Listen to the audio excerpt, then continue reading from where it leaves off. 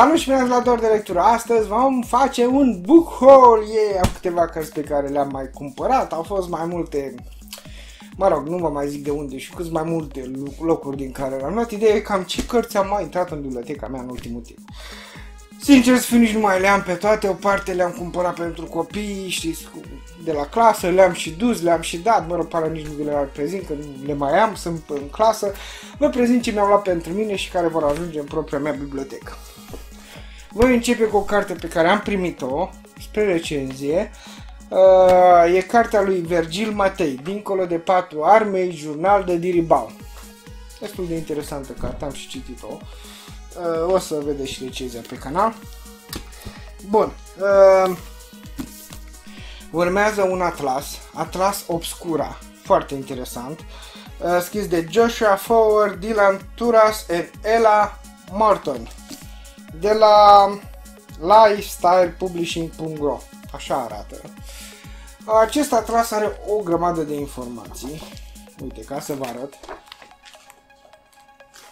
Stați să scot supracoperta, apropo are și o copertă minunată. Să dăm jos supracoperta, așa arată. Și pe fiecare pagină sunt o grămadă de informații. Uite, ca să Vedeți, spre exemplu aici avem călugării maratoniști de pe muntele Hiei, tunelul glicinelor, satul păpușilor. Haideți să vă mai citesc, uite, din altă parte. Școala undelui, undelor aerului, parcul Paronela, copacul însemnat din golful Cooper, ambuscada dinozaurilor din Land Quarry. Toate astea le găsim aici. Informații, bineînțeles, nu foarte detaliate, dar interesante și destul de obscure. Asta mi s-a părut interesant. Sunt informații care nu le găsi altfel.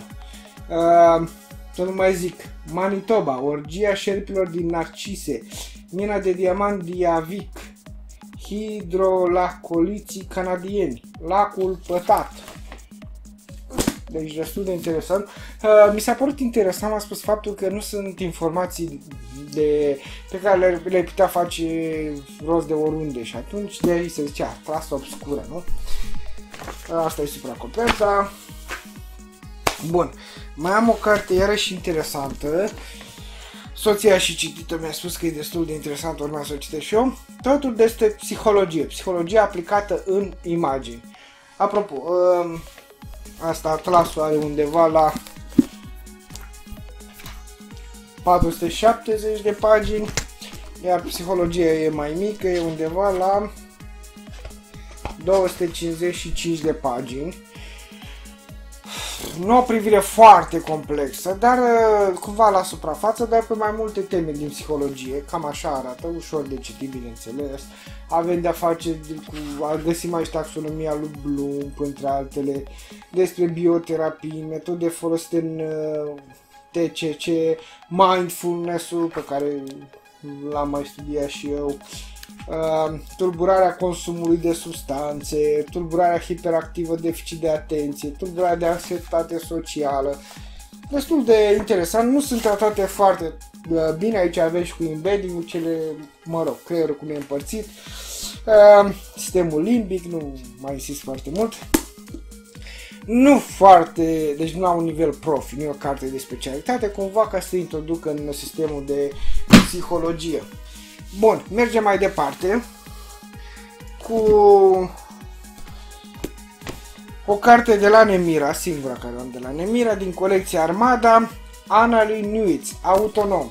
Am auzit de cartea asta că ce puțin a fost nominalizată la premiile, nu mai știu ce premii, parcă Locus, mă rog, destul de multe premii, știu, uite, um, nominalizat Locus și Nebula, deci două, a fost nominalizat la două premii, are undeva la 302 pagini, am auzit destul de multe despre cartea asta, Mihai Ordache e tradus de el, uh, am găsit la un preț și bun de data asta, o căutam, o căutam, era în mintea mea, uh, văzusem undeva Cartea aceasta e pentru biotehnologie și inteligență artificială, ce a fost nou romator pentru internet, Neil Stevenson.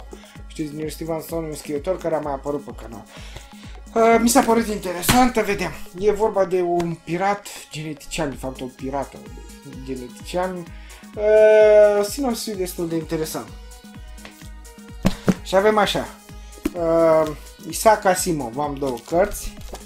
Odată, Imperiul Praf de Stele, uh, face parte din seria Imperiului, sunt trei cărți, prima e o piatră pe cer pe care o am și acum ne-am luat și pe ultimele două.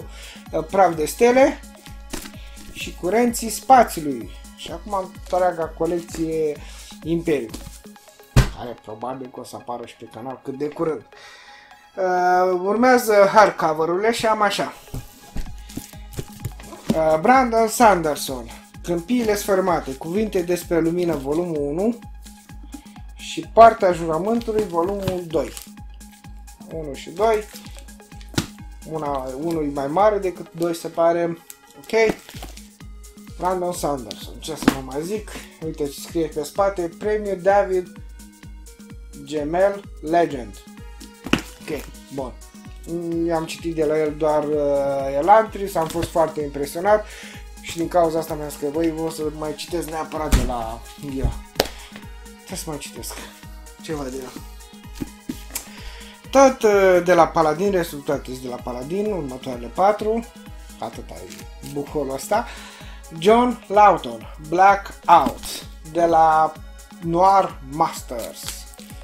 Da, uh, nu știu să vă zic prea mult, uite, se petrece în Londra celui de-al doilea război mondial.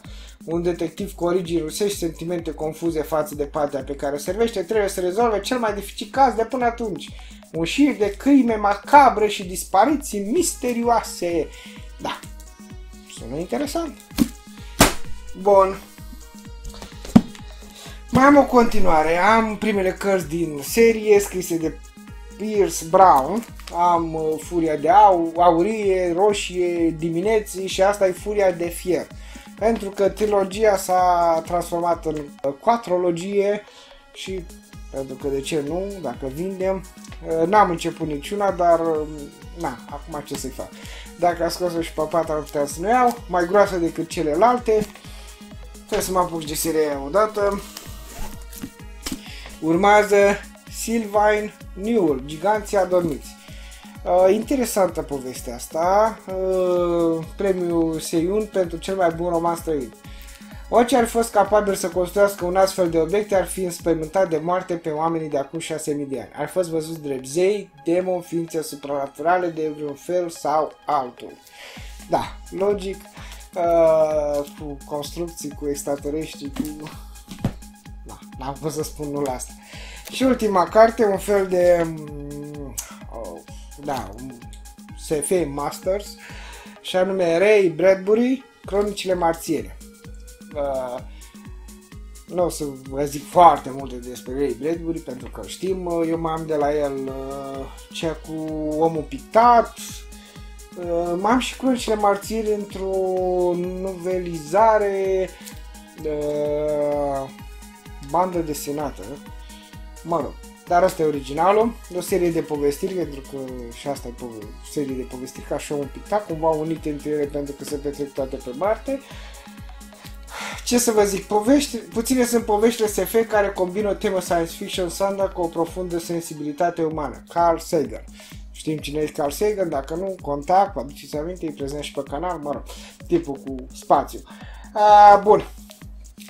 E cumva tot treaba colonizarea planetei Marte privită din prisma anilor uh, 40, ceva în genul ăsta, cam atunci a fost scrisă cartea.